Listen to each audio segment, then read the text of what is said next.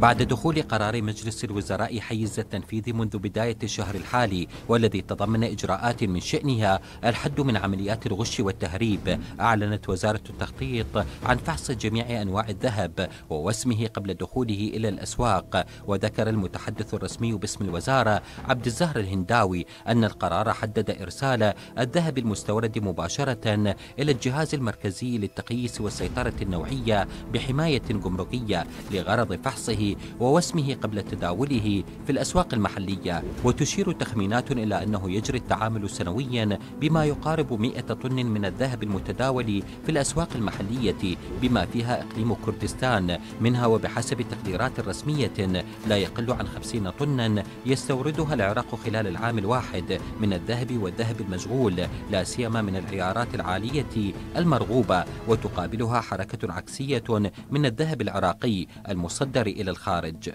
على المستوى الرسمي تعد تجارة الذهب رائجة ومضمونة إذ أفادت تقارير دولية بأن البنوك المركزية في العالم حافظت على وتيرة عالية من مشتريات الذهب في الربع الثالث من العام الحالي في ظل التوترات الجيوسياسية. وكذلك العراق الذي احتل المركز الرابع ضمن أكبر الدول العربية التي تمتلك احتياطيا من المعدن النفيس. لكن على مستوى التداول والتجارة الأهلية يدور الحديث عن شبهات فساد تتعلق أولا بوجود أنواع من الذهب المغشوش تدخل إلى العراق من دون رقابة وثانيا باحتمالية وجود علاقة قوية ما بين غسل الأموال وتهريب الذهب واعتماد الأخير كبديل عن الدولار الذي أصبح تحت مجهر المحاسبة والرقابة الحكومية والأمنية بشدة في الآونة الأخيرة. وهنا يأتي وبحسب مختصين دور الجهات المختصة والقوانين الخاصة في فلترة عمليات الاستيراد والتصدير والتداول